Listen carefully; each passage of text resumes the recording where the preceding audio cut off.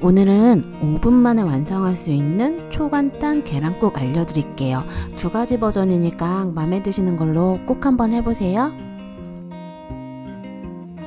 우선 대파 반 개를요, 어스 썰어주세요.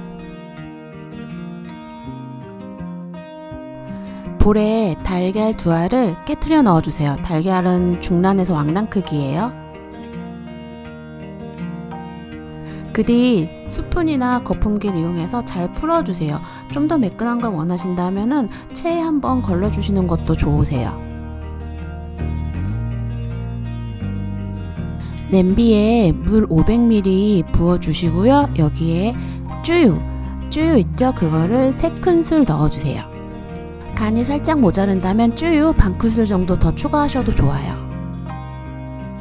이제 강불에 한 소끔 바글바글 끓여주세요.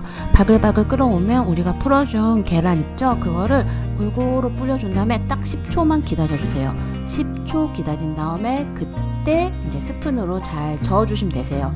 그리고 나서 우리 대파 썰어준 거 넣고서 한 소끔 더 끓이면은 완성이에요. 불 끄고 후춧가루 한 번 넣고서 더 섞어주면은 뭐 정말 5분 만에 5분보다 덜 걸릴 수 있는 맛있는 계란국이 완성이 돼요.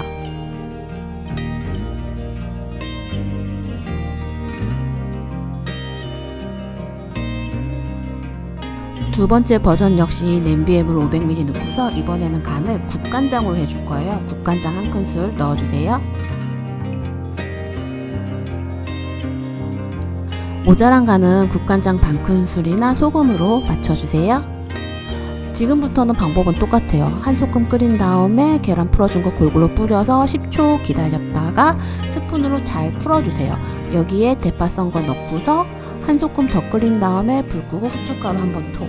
되게 간단한데 맛이 국간장으로 할 때랑 쭈유랑 할 때랑 차이가 있어요. 쭈유는 좀 단맛이 있고 국간장은 깔끔하게 똑 떨어지는 맛.